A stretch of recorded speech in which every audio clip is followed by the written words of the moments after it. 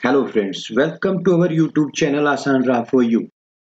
नमस्कार दोस्तों, आज हम इस वीडियो में बात करेंगे एकादशी से जुड़े कुछ ज़रूरी नियमों के बारे में। इसलिए वीडियो को अंत तक ज़रूर देखें। ज्येष्ठ मास के कृष्ण पक्ष की एकादशी तिथि अपरा या अचला एकादशी कहलाती है। एकादशी व्रत न सिर्फ़ भगवान विष्णु जी को समर्पित है, बल्कि यह व्रत सभी व्रतों में सर्वश्रेष्ठ भी माना जाता है। इस बार ज्येष्ठ माह के कृष्ण पक्ष की एकादशी छह जून रविवार के दिन है। अपरा एकादशी का व्रत अपार सुख प्रदान करने वाला और मोक्ष की प्राप्ति प्राप्ति कराने वाला माना गया है। यदि आप इस दिन व्रत नहीं भी करते हैं तो भी आपको कुछ बातों का ख्याल अवश्य रखना चाहिए।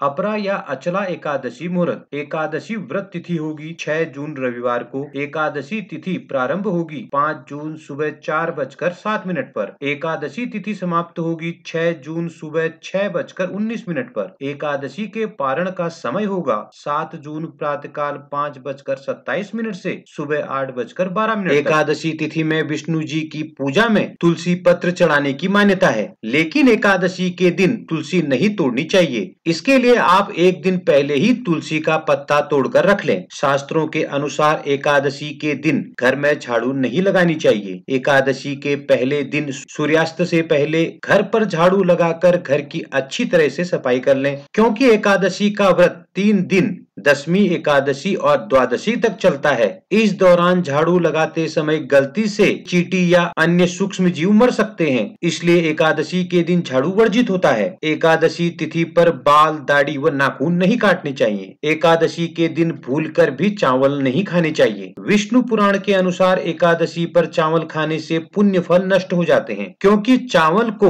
भविष्य अन्न कहा गया है, यानी ये देवताओं का भोजन है। इसके अलावा वैज्ञानिक तथ्यों के अनुसार अनुसार चावल में पानी की मात्रा ज़्यादा होती है। चावल खाने से शरीर में जल की मात्रा बढ़ती है, जिससे मन पर प्रभाव होता है और मन एकाग्र होने की बजाय चंचलता की ओर बढ़ता है, जिसका प्रभाव पूजा, पाठ, जप, तप और धार्मिक कार्यों में पड़ता है। इस वजह से भी एकादशी के दिन चावल खाना वर्जित है। दोस्तों, इसीलिए अगर आप इन नियमों के साथ एकादशी का एकादशी का व्रत करते हैं तो आपको इस व्रत का पुण्य फल अवश्य ही प्राप्त होता है।